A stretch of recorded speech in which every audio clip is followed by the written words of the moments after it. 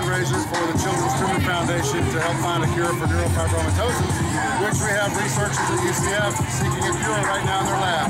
It was awesome, a lot of fun, a lot of runners out here today, much better, much bigger than last year. And, uh, it was great seeing the looks of people passing, passers by on the streets that didn't know what was going on. My motivation is uh, the, the multiple people who I've met with NF, uh, including the Lillian, who is the uh, Orlando hero for the, the run today.